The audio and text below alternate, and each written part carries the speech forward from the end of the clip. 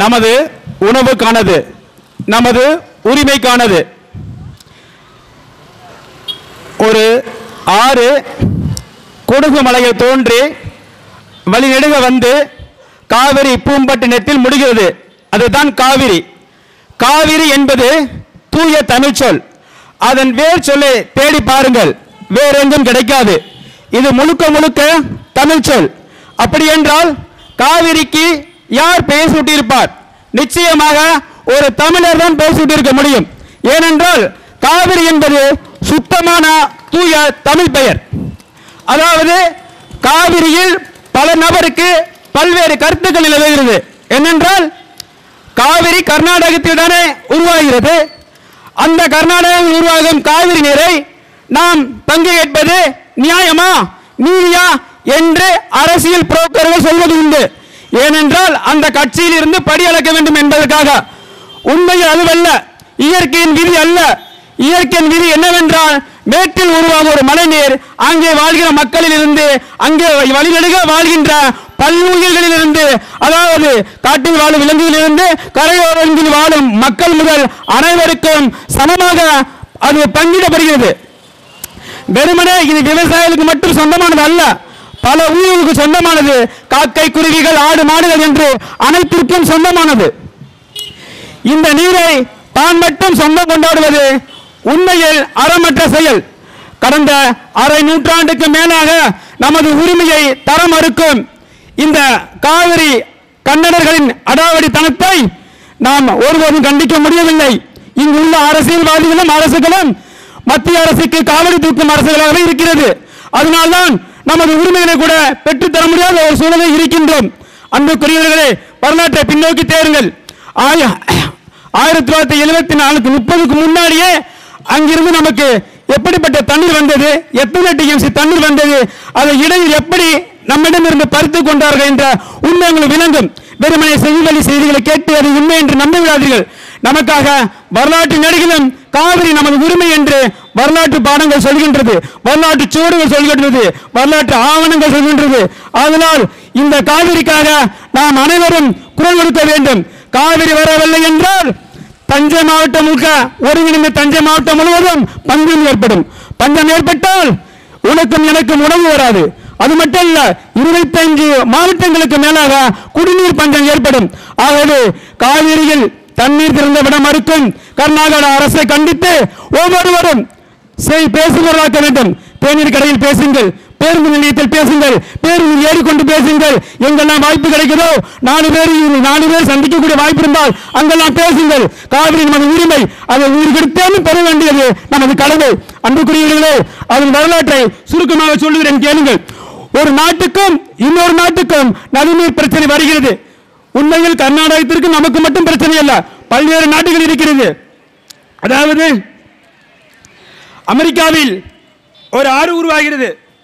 அமெரிக்காவில் அமெரிக்காவில் உருவாகி நாடு பிரச்சனை. அதாவது எகிப்தினுக்கும் எகிப்துக்கும் சூடானுக்கும் நைல் நதி பிரச்சனை. ஆசிரியாவுக்கும் துருக்கிக்கும் தானியும் ஆறு பிரச்சனை. ஜெர்மனிக்கும் பிரான்சுக்கும் ரைன் ஆறு பிரச்சனை. அமெரிக்காவுக்கும் மெக்சிகோவுக்கும் ரியோ கேரண்டி கொலோரடா பிரச்சனை. அமெரிக்காவுக்கும் கனடாவுக்கும் கொலம்பியா ஆறு பிரச்சனை.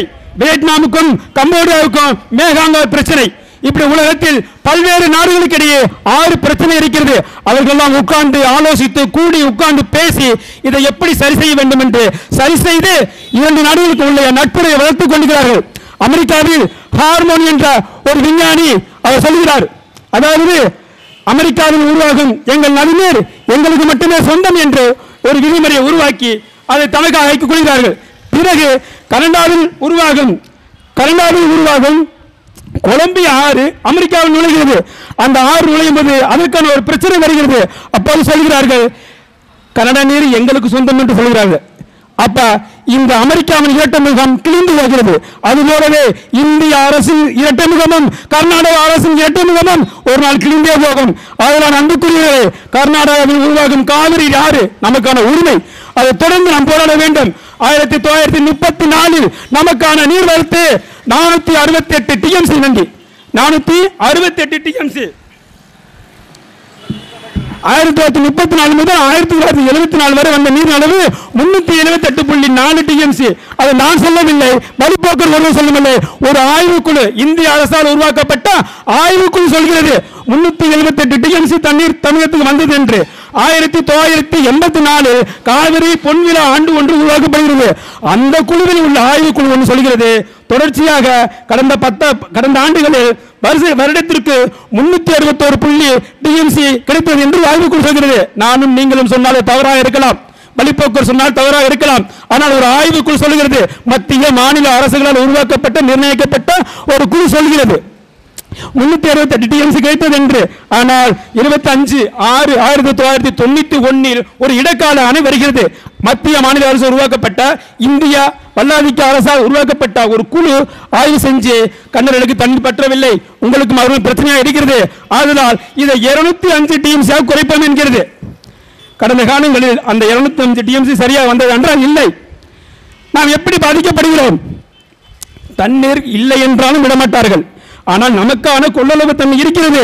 அவர்கள் ஆங்காங்கே அணை கட்டி கொண்டு அந்த அணைகளில் தண்ணீரை தேக்கி வைத்துக் கொண்டு திட்டமிட்டே தமிழர்களை பழிக்கிறார்கள் பழிவாங்குகிறார்கள்.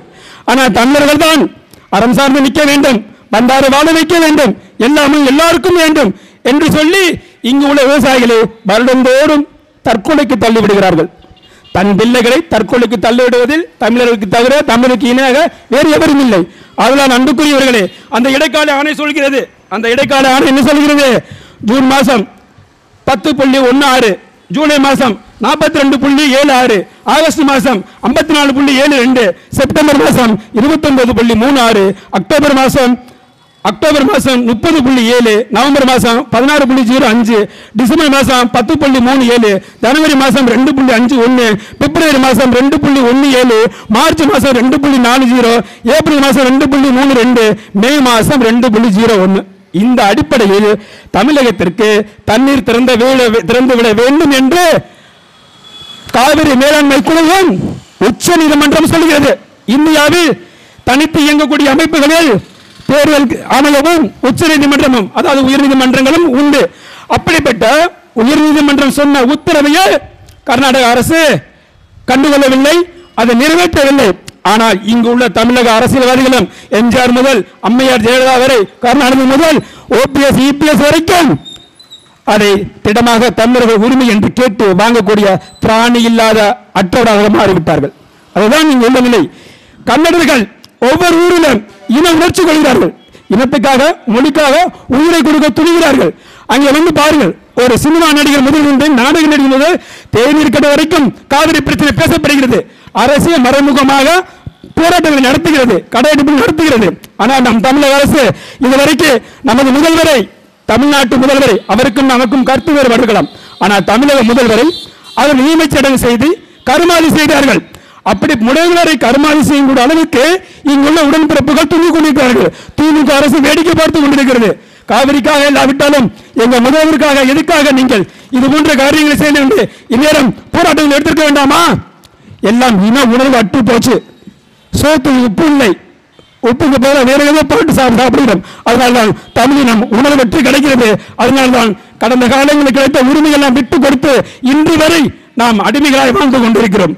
வெறும் பேருந்தில் போவதும் காலையில் தேநீர் அருந்துவதும் விலை உயர்ந்த அலைபேசி வைத்திருப்பதுமே பெருமை என்று நினைத்துக் கொள்கிறோம். சாலையில் போகும்போது வெள்ளையும் சொல்லியுமா போய்விட்டால் பெருமையா? இல்லை. ஒரு இனத்திற்கான பெருமையை சுதந்திரமாக இருப்பது அப்படி சுதந்திரமாக இருக்கிறோமா? இல்லை. இந்திய அரசுக்கு அடிமையாக இருக்கிறோம். தமிழ்நாட்டுக்கு அரசுமே இருக்கிறோம் கார்பரேட்டுகளுக்கு அடிமையாக இருக்கிறோம். அன்புக்குரியவர்களே இந்த காவிரி நீரில் ஏன் நாம் உடனே பெற்றுத்தர வேண்டும் என்றால் இப்போது தண்ணீர் தர முடியாதுன்னு சொன்னவுடனே தஞ்சையில் ஒருவர் இதய அடுப்பாக இறந்து விட்டார். எத்தனையோ விவசாயி இறந்து விட்டார். சரியான புள்ளி விவரம் கிடையாது. செத்தவரை விவசாயத்தால் செத்தவரை வேறு ஒரு கணக்கில் கொடுக்கிறார்கள். விவசாயம் தொய்த்து போய்விட்டதால் எலிமருந்து சாப்பிட்டவரை மனைவி திட்டியதாக கணக்கு காட்டுகிறார்கள். மகன் திட்டியதாக கணக்கு காட்டுகிறார்கள். இங்கு உள்ள சூழலும் இங்கு உள்ள அரசியல் நிலைமையும் அப்படித்தான் உள்ளது. அன்புக்குரியவர்களே இந்த காலம் வரும். இளைஞர்கள் எழுச்சி கொள்ள சூழல் வருது. இதையெல்லாம் மாறும். காவிரி என்பது நாம் நீந்தி குளிக்க நீரெடுத்து குடிக்க நீந்தி குளிக்க நீரெடுத்து குடிக்க சேற்றுக்கு நீர் பாய்ச்ச சோற்றுக்கு உழவிக்க ஆடு மாடுகள் மத்தியான தண்ணீர் குடிக்க குருவிகளின் காக்கைகளும் கும்மாளம் போட. இவை அனைத்துக்கும் காவிரி தேவை. யாரோ ஒரு தனிப்பட்ட நபருக்கானதல்ல இது தமிழர்கள் உரிமைக்கானது. அதனால் அன்புக்குரியவர்களே இந்த போராட்டங்களை எல்லோரும் முன்னெடுக்க வேண்டும். பரமக்குடியில் பல்வேறு கட்சிகள் இருக்கிறது பல்வேறு இயக்கங்கள் இருக்கிறது. ஆனாலும் இந்த இந்த இது போன்ற கூடிய மோசமான நிகழ்வுகளை கண்டித்து யாராலும் ஒரு போராட்டத்தையோ ஆர்ப்பாட்டத்தையோ அறிவிக்க முடியவில்லை. மிகப்பெரிய ஜாமான் உங்க கட்சி இருக்கிறது. அன்புக்குரியவர்களே உங்க கட்சிக்கு நன்றிக்குரியவராக இருங்கள். அது எங்களை மாற்று கருத்தில்லை. ஆனால் மக்களுக்கு உங்களுக்கு வாக்கு போட்டு உங்களை அதிகார பதவியில் அமர்த்தி இருக்கும் மக்களுக்கு உண்மையானவரை இருங்கள். இல்லை என்றால் காலம் உங்களை நிராகரிக்கும். அன்புக்குரியவர்களே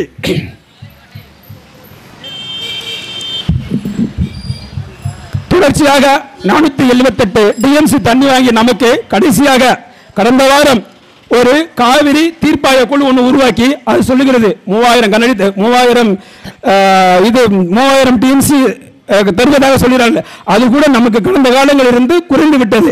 அதனால் அன்புக்குரியவர்களே மகப்பேர் நடப்பது போல மலைப்பேறு நடக்கிறது. ஒரு ஒரு பெண்மணிக்கு மகப்பேறு நடந்தால் அவளுக்கு என்ன ஆகுமோ என்பது போலவே நமது விவசாயிகளும் கண்ணீரோடு காத்து கொண்டிருக்கிறார்கள். நமக்கான மழை தென்மேற்கு பருவமழை பெய்யும் பொழுது மேற்கு தொடர்ச்சி மழை தடுப்பதால் மழையாக வர வேண்டிய தண்ணீர் நமக்கு நதியாக வருகிறது. அந்த நதி நீரை கன்னடர்கள் இன வெறி கொண்டு தமிழர்களுக்கு செய்யக்கூடாது என்ற பெரும் கோபம் கொண்டு வன்மத்தோடு செயல்படுகிறார்கள் அறத்தோடு நின்றால் அனைவருக்கும் நல் பொருந்து பொதுவுதானே என்று பேசியிருந்தால் நாமும் அறத்தோடு நின்றுக்கலாம் ஆனால் அவர்கள் இன வெறி கொள்கிறார்கள். தமிழர்களுக்கு இன உணர்வு கூட கிடையாது. அன்புக்குரியவர்களே தயவு செய்து தயவு செய்து இந்த காவிரி பிரச்சனையில் அனைவரும் ஒவ்வொரு விவசாயியும் சோறு தின்னும் தண்ணீர் அருந்தும் ஒவ்வொருவரும் இந்த போராட்டங்களை ஆதரிக்க வேண்டும். அதற்கான முன்னெடுப்புகளை தொடர்ந்து எடுக்க வேண்டும். நீங்கள் எடுக்கும் எந்த போராட்டத்திற்கும் நாங்கள் உறுதியாக இருக்கிறோம். பருவமழை வரும்போது பெருங்காற்று வீசுமோ? பேய்காற்று வீசுமோ? கனமழை பெய்யுமோ? பேய்மழை பெய்யுமோ? விளைஞ்ச கதிரெல்லாம் வேரோடு சாயுமோ? காஞ்சி கெடுத்தவானும் பேஞ்சி கெடுக்கிறது. வாய்க்கால் தண்ணியா?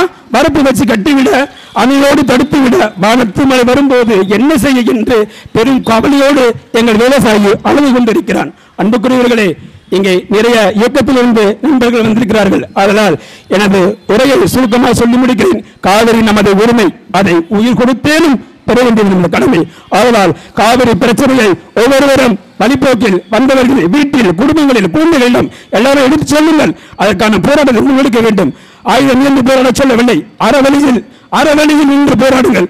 இந்த இனம் இப்போது இல்லாதவர்கள் எப்போதும் இனவுணர்வு இல்லாமல் இருந்தால் தமிழகத்தில் நிச்சயமாக தமிழர்களிடம் தமிழர் நிலம் இல்லாமல் அன்னைகளிடம் அகப்படும். மீண்டும் ஒரு புரட்சியாக வெடிக்கும். அதுக்குரிய அப்படி ஒரு வாய்ப்பை வழங்காமல் அன்புக்குரியவர்களே காவிரி நமது தாய். காவிரி என்று சொல்கிறேன். வெள்ளைக்காரன் காலத்திலேயே காவிரியில் அங்கு ஒரு காடு இருக்கிறது. அந்த காட்டுக்கு சோழர்கள் காடு என்றுதான் பெயர். அப்படிப்பட்ட அந்த சோழர் காடு இந்த இடத்தில் இருந்துதான் இந்த காவிரி வருகிறது. அதுவும் குடகுமலை குடகுமலையில் வாழும் ஓன இனம் கன்னடர்கள் அல்ல குடகு இனம் என்ற ஒரு தனித்த இனம். அந்த இனம் இந்த கர்நாடக பிரச்சனை வரும்போதெல்லாம் தமிழர்களுக்கு ஆதரவாக தான் இருக்கிறார்கள். அதனால் அந்த குருவிலே அனைவரும் இந்த காவிரி பிரச்சனையில் தன்னால் முடிந்த ஆதரவான போராட்டங்களை முன்னெடுத்து எங்களை போன்ற எங்களுக்கு ஆதரவு தருமாறு இங்கே வந்திருக்கும் அனைவரையும் வரவேற்று நன்றி கூறி விடைபெறுகிறேன். நன்றி வணக்கம்.